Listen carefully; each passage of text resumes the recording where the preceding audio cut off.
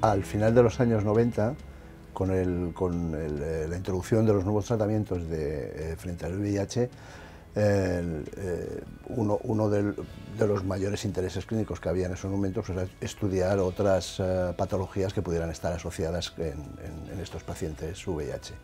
Y la, y la más importante fue la coinfección con el virus de la hepatitis C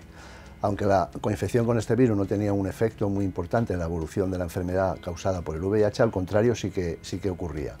Eh, el VIH y muy probablemente la inmunodeficiencia asociada a la infección por este virus lo que sí hacía es que el curso de la enfermedad del, virus de la hepatitis se viera acelerada y estos pacientes evolucionaban al daño hepático mucho más, eh, más rápido que los pacientes que no estaban eh, infectados con, con el VIH. Y esta fue la razón por la que en estos años el laboratorio decidió crear un grupo de infección del, VIH y el virus de la hepatitis C.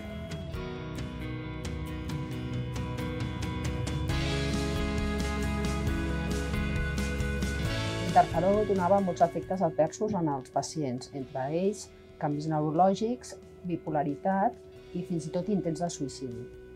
En el nostre laboratori vam fer un estudi genètic per discernir aquells pacients que tenien alta probabilitat de respondre i així poder evitar el tractament a aquells pacients que sabíem que segurament no, no respondrien al tractament i poder evitar els morts majors.